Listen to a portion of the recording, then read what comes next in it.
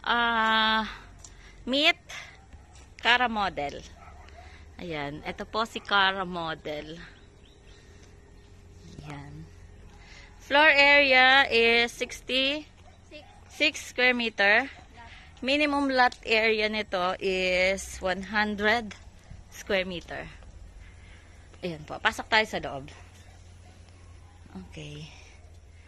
Ito ang kanyang living room. Ayan siya. Tapos dining. Ikaw nagbukas ng pinto sa labas? Okay, ayan po. And then, ito yung kitchen. Punta muna tayo sa labas. Okay, ang back seat natin is 2 meters from the wall. So, hanggang dyan siya. Ayan. 2 meters from the wall. Ayan, mga hanggang dito siya. Hanggang dito. Ayan. okay.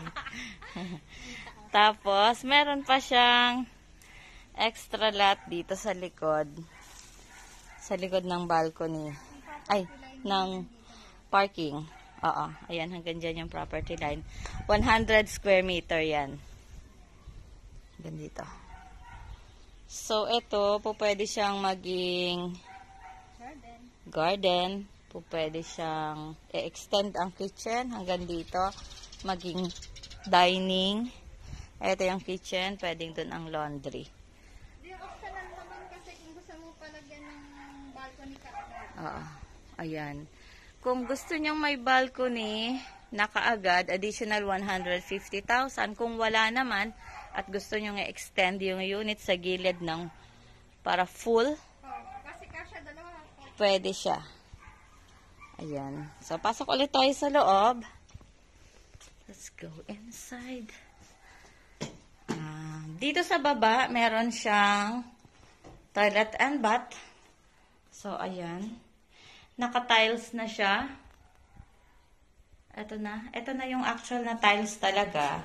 And then, ganito na rin yung kanyang sink and yung mga toilet fixtures. Um, ganito na yung shower. Plus, may bidet na rin siya. Okay. Sa kitchen naman, naka-tiles na rin yung kitchen niya. Yun nga lang, ceramic tiles. Okay. Meron na rin siyang cabinet sa foot cabinet.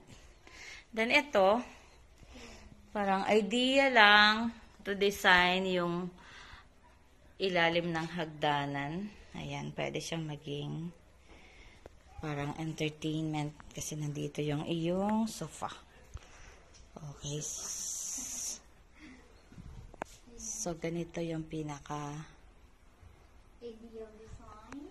ideal design para sa sala. Okay? And then, ayan. Ito rin, pwede nyong lagyan ng bar. O, di ba? Breakfast nook or parang bar. Ayan, ganyan. Cute. Cutie, cutie. Ang cute ng kanyang, Sa. Ang cute ng goblet, kulay green. Ayan yung Sa ceiling niya, pwede kang maglagay ng, ano yung tawag doon? Eto, pwede ka namang maglagay ng drop ceiling. Pwedeng ganyan. Ayan. Para may design. Para may design. So, depende sa'yo. Okay. Eto yun. Akit tayo sa taas. Sa taas is three bedrooms. Ah, ang turnover sa taas, meron na siyang mga partitions. Lahat ng bedroom. So, nakatatlong bedroom na talaga siya. Una makikita mo dito is another toilet. So, hindi mo na kailangan bumaba. Kapag sa gabi, pwede ka nang dito na mag, ano, toilet. And then, eto yung room number one. Ayan. And then, dito yung, sa, opposite niya is room number two. hindi mo kasi Eto pang girls. Ang cute ng kulay dito. Pink. Diba? Oo. Bakit? So, eto ay master's bedroom. So, ayan yung master's bedroom. Push mo sa... Ayan. So, dito yan.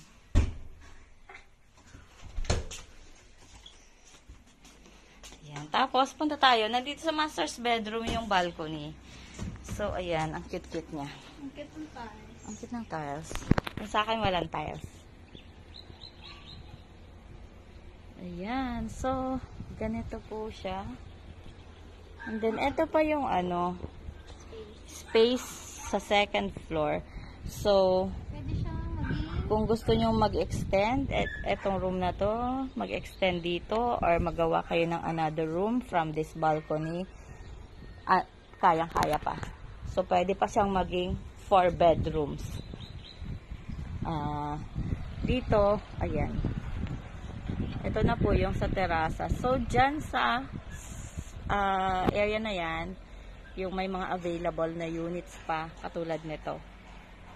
Ayan.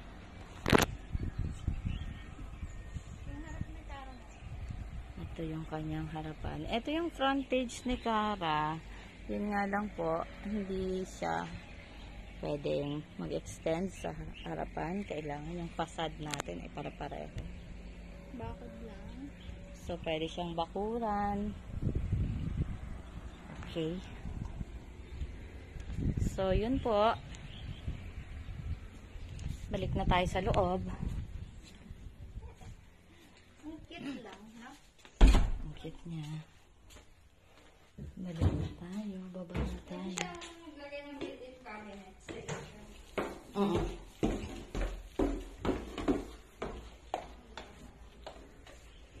So, ito po yung kabuuan ng down, ah, ground floor. Ayan.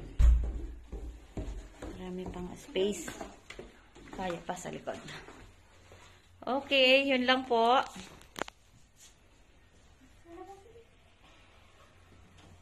At lalabas na tayo. Ayan. Yan. Ilalak ko lang.